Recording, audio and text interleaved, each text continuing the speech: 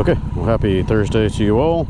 Getting out for a late work commute today. I've been uh, working from home most of the morning, doing various things, billing and uh, trying to catch up on emails and all kinds of late work, missed work. Uh, Got to run over to uh, Best Buy, pick up a hard drive for a customer of mine, uh, external backup drive, because they have a uh, failing drive array, which is not a good thing. Uh, need to uh, get a good external backup of their system, so I've got a recovery point if this uh, array just takes a dirt nap, which is very possible. Uh, their server closet has been too hot and uh, cooking components, so that's not good.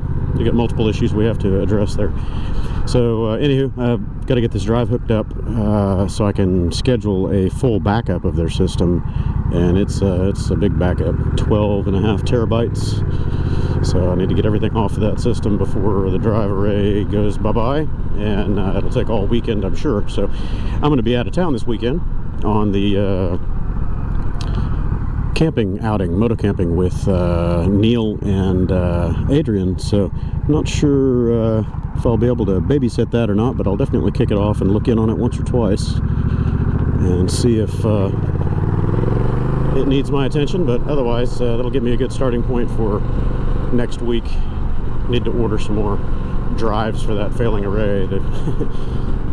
for any of you technical folk out there, it is uh, a Dell MD1200 uh, external array hooked up to a, I believe it's a PERC 730 controller. I can't remember what the controller is, but uh, it's a 12 drive array, uh, all two terabyte drives, and uh, it's running in RAID 60 and it's lost four drives, or it's got four drives pending failure, flashing orange.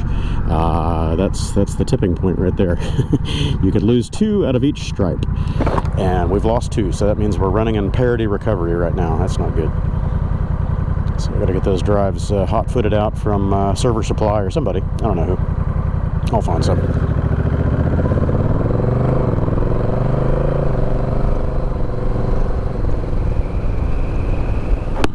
Scoot went by ahead of me there. It looked like a Berge 400. It might have been a 200. I don't know. It's a smaller one.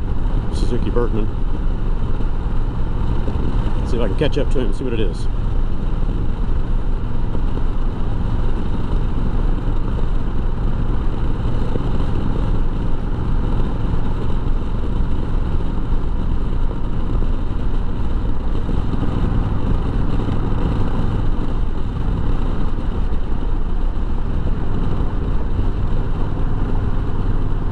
is that a Yamaha Majesty? No, it looks like a Burgman exhaust. Yeah, that's a Bergie.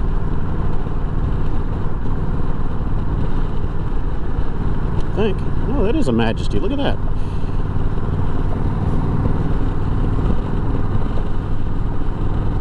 Yamaha Majesty, and of course that truck was tailgating him within about three feet. What a complete tool. Yamaha Majesty, that's a good scoot. It's a 400cc class. I want to say they were 379cc or something like that. Uh, I never did own one, but I've ridden one several times. I like them. If I could ever find a good deal on one, I'd probably pick one up. They're not extremely fuel efficient. None of the Yamahas ever seem to be all that efficient, not as much so as the Hondas. Uh, but they do pretty good. I, I, think they are getting somewhere in the high 70 mile per gallon range at uh, freeway speeds, you know, 65-ish. They do okay. I've been looking at uh, all the European releases for the Honda ADV 350 and uh, there seems to be some confusion on the pricing. Uh, I've seen motorcycle.com and a couple of other uh, magazine shops, uh, you know, motorcycle reviewers, whatnot, saying that uh, the ADV 350 is going to be like the equivalent of $14,000 US.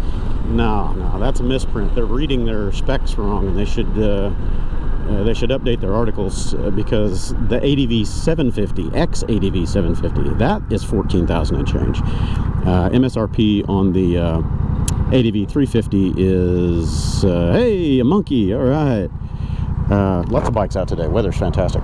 Uh, I think it's 55.99 or 56.99 British pounds. So convert that up, and that's 63, 6400 dollars US. So I'm guessing if and when we ever do get the announcement here for the USA release on the ADV 350, it'll probably be in the 6500 dollar range.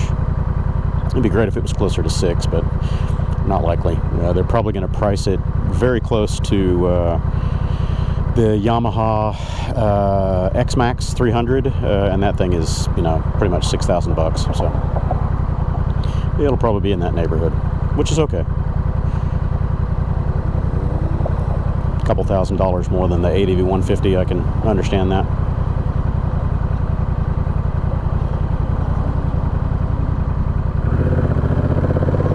So I didn't give my uh, obligatory weather report as I left the house. Uh, it is fantastic here today.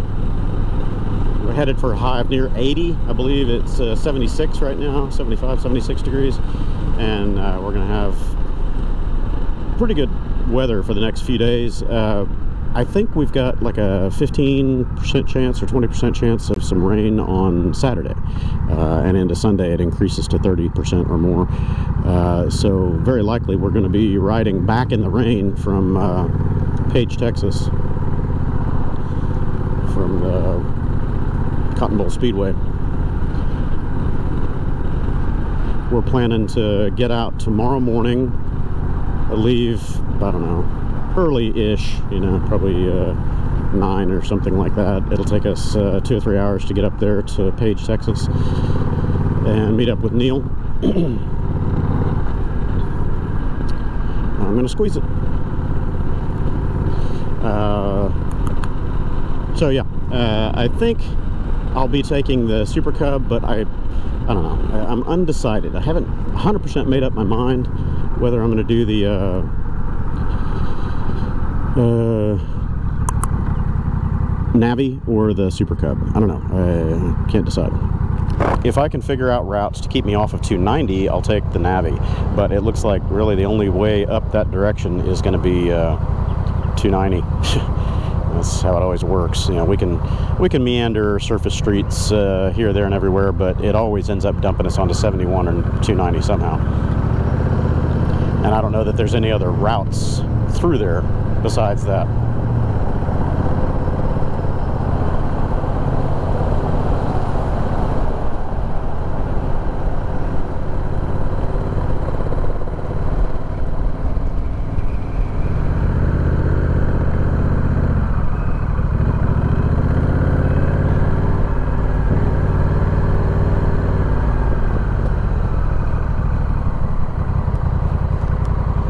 Park behind this guy. Of course, he's leaving, so. Yeah.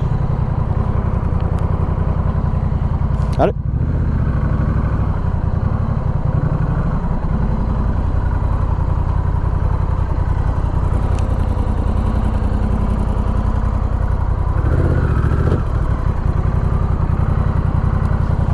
All right, I'm going to grab my stuff and uh, head out.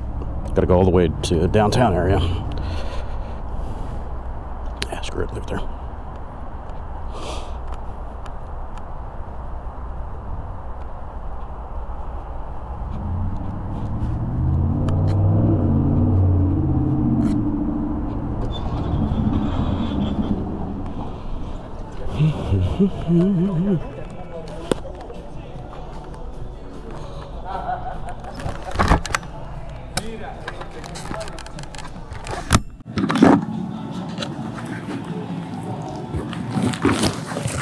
Cool. They got e-tags in here now. Uh, e-paper, that's pretty slick.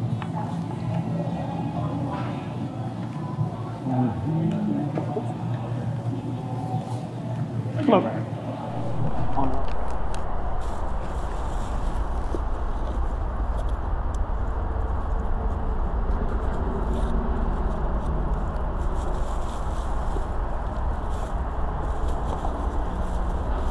Get in there. I know you fit.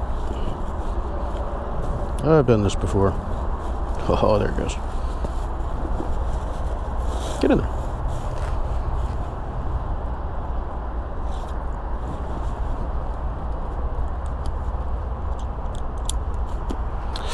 Alrighty then.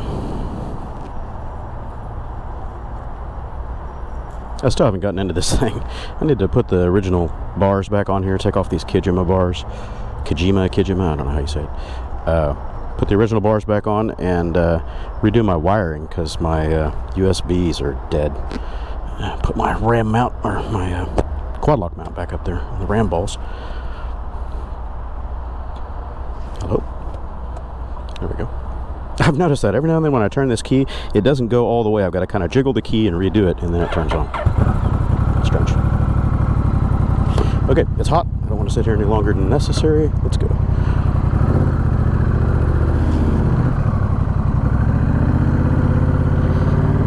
Yep, sitting still. It's uh, 80 plus out here. Mount Kilimanjaro here. Ugh.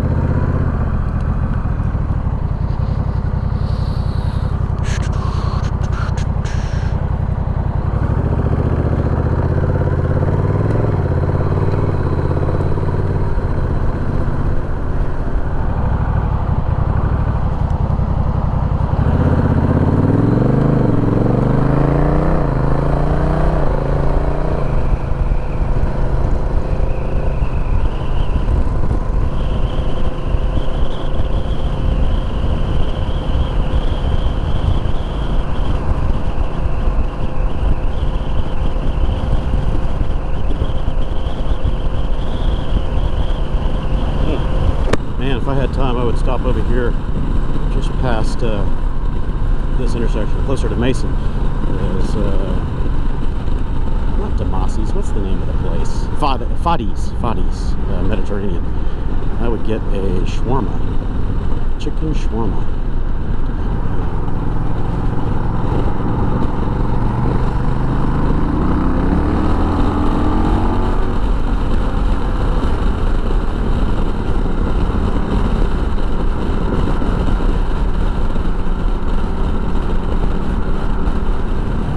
So I was watching uh, Burch's channel, Life of Burch, and he installed the Burly brand shocks. Uh, I think they're the Burly Stilettos on the back of his Rebel, and he says they are just fantastic. So I'm going to have to investigate those uh, this spring when I can get into my bike projects again, sometime over the next couple months. Uh, I'm going to be hitting up uh, Öhlins again to see if they're going to have a fitment for the Rebel 1100. I would hope they, they will, but if they don't, I'm going to look into uh, Burly and a couple of other brands to see if I can find some better rear shocks for this thing. And uh, a couple of other little minor upgrades. If uh, if Öhlins comes out with theirs, I'm going to see if they'll do the front forks as well. Uh, their fork cartridge uh, replacements. So should drastically improve the handling of this bike. I was kind of tentatively waiting to see if Honda was going to announce the NT1100 arrival date here in the United States because I may, not for sure, I may uh, replace the Rebel with the NT1100. Uh, it's the same engine, probably going to be more in the Africa Twins uh, performance trim, a little closer to 100 horsepower. So I don't know. I like the Rebel. I've got nothing against it. Uh, I really enjoy it. But I think if I had the uh, standard, you know, touring chassis, uh, it would be this and more. So I don't know if I would ride this one all that much after that.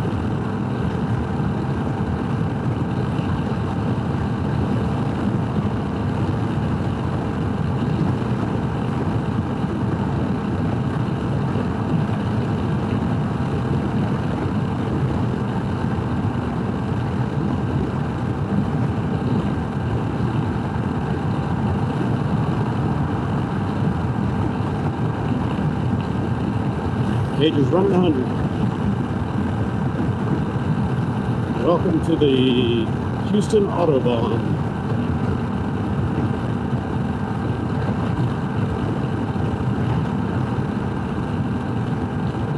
I'll do it for short stints to get out of the way or get past somebody that's just being an intentional tool, you know, trying to block and bracket a lane. But sustained speeds of 100 on the highway out here, come on, really?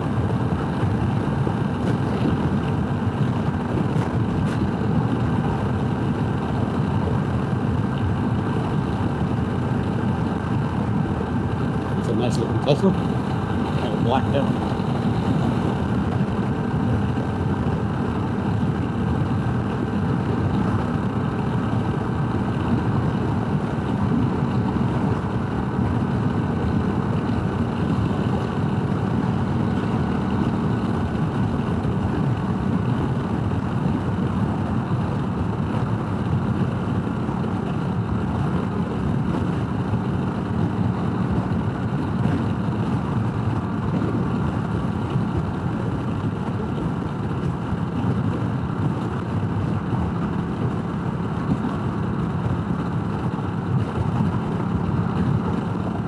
Man, looking at this little mini convertible in front of me reminds me uh, during the Cannonball last July, uh,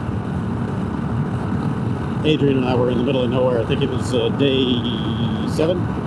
Yeah, day seven. Uh, I can't remember where we were exactly, but uh, there was a little Mazdaspeed uh, Miata that went by us, and reminded me I want another convertible. I had a Mazda Miata a while back, early 2000s model. Great little car.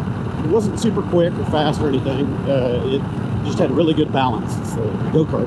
Really fun to throw around. And uh, seeing the convertibles, it's like, ah, I need another sports car. So I don't know what I'm going to do with my Accord, but we'll see. Nobody uses my Accord much. I don't drive it much. I've had it for two years now, and it barely has 13,000 miles on it. it. Might be right at 14. I can't remember. It just clicked over to 13 or 14,000. I put more than that on my bikes. 10,000 miles on my Cub in one month. Spend more time on two wheels. Or let me rephrase, out in the open air, not in the cage. I want to be in a cage, at least want it to be topless. So when I get back to the house today, after this uh, run, I gotta go all the way into the downtown area, then come back, stop at my warehouse over here, uh, shuffle a couple things real quick, and then head back. So when I return home, I need to get all my camping gear together and prep the Cub for a road trip. Shouldn't take more than half an hour to grab all my stuff and be ready to go. I hope. Haven't been out in many months. I don't think I've got my uh, go bags ready. I'll need to take a tent because there are no trees. So that alters my loadout a little bit. If I take the Navi, then, then it's yet another exercise. I've got to figure out what fits, where I can strap it all down, and I need a fuel bottle or uh, extra fuel container or something because it's uh, it's going to be very possible to go 65 miles between fuel stations out where we're going. Know, stop every 30 miles or something, but that's going to be kind of silly. There's my spot, and it's on gravel, of course, which I hate on this bike. Okay, well, if my battery's still running, then uh, I will catch up with you guys in just a little bit.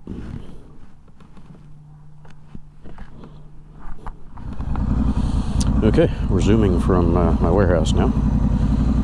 Got a couple stops done, several things handled, and now it's uh, heading back out to uh, Katy before traffic gets crazy. And I need to stop and put fuel in this thing because it's flashing. And I got my 55 55 mile marker right here at my office. Nice. All right, uh, off we go.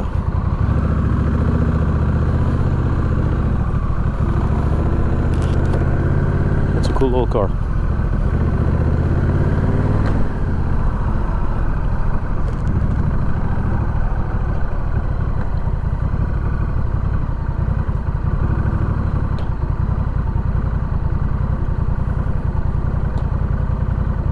You doing, dude?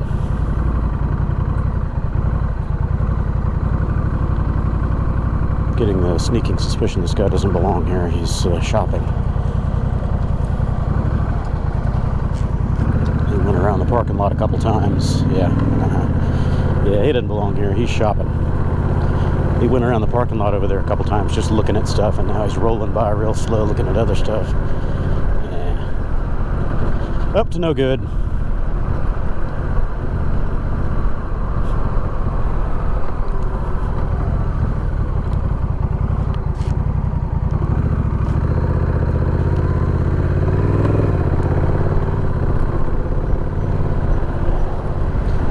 Decide where I'll stop for fuel. Might, uh, might go to Costco. I haven't been there in a while.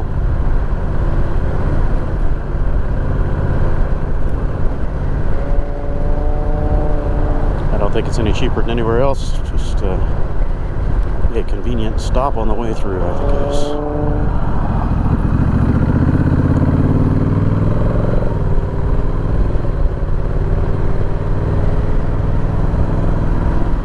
I think I might stop and up a shawarma for me, man. Chicken shawarma sounds really good.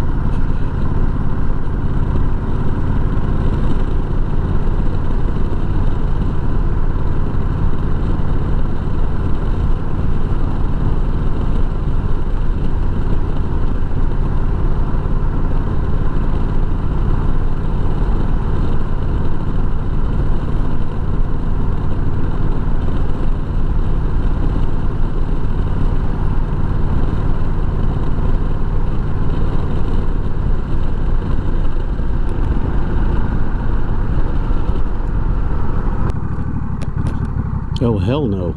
Look at these lines. I've never understood why the Costco gas lines are so long. It's not that great a fuel. Come on. There's plenty of places to fill up for one or two pennies difference. Skip that. I will find another fueling station. Ah, screw it. I'm going to try to ride it home. My range says 27 miles. It's only uh, 16 to home, so let's see if we uh, trust it and make it. Don't want to end up pushing this one. It's a little heavy.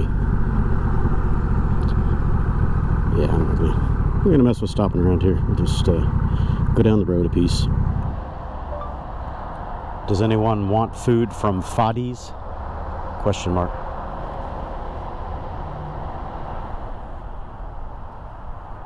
Okay, so I made it to uh, Fadi's uh, Mediterranean Grill.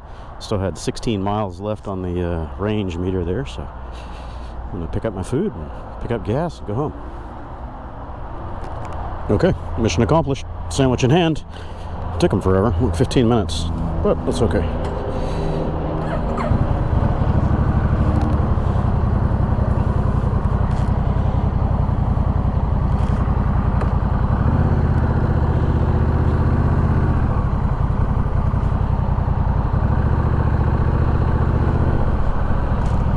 Now it's off to pick up some fuel and uh, home. Eat my sandwich. I suppose I could pick up fuel after I eat my sandwich. That's a better idea. I'm gonna eat the sandwich while it's hot. Need to get home because I'm expecting a DHL delivery that might show up anytime now, and I've been getting all these uh, DHL uh, text messages and emails, and they're fraud uh, every time. I don't trust them, so I never respond to them, and it's for the signature list delivery, all that. So I don't know. I'm not gonna.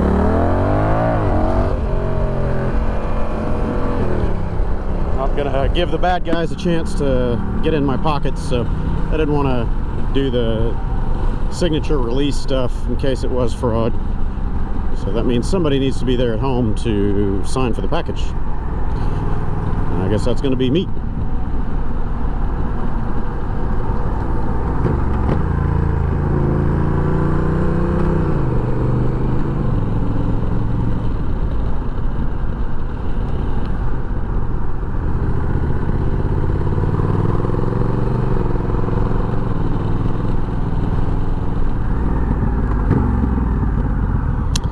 Rubble's a little wide to squeak through there, but I might be able to make it. Fold my mirror in. Try not to drag my foot pegs. There we go, made it. Folding uh, hindsight mirrors are quite nice sometimes.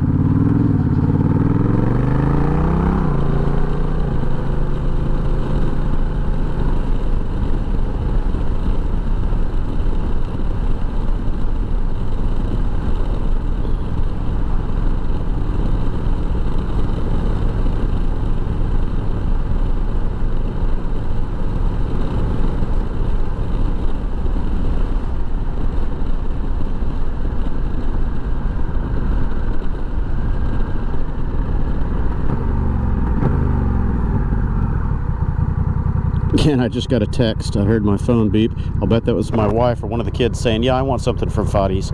Yeah, you're 15 minutes late. I'm coming home to eat my sandwich. I'll go back out for them later. I sent him a text when I was standing there in front of the place. Said, "Does anyone want anything from Fadi's?"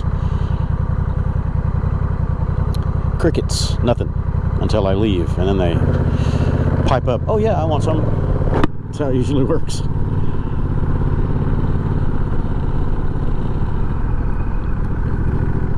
Okay, well, home again, home again, and I'm gonna eat my sandwich. And then see if somebody else was deciding they wanted something at the last second.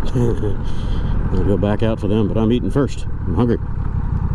So I will catch you all uh, later, maybe uh, for another ride on one of the other bikes uh, to go out for another food run. Catch you later.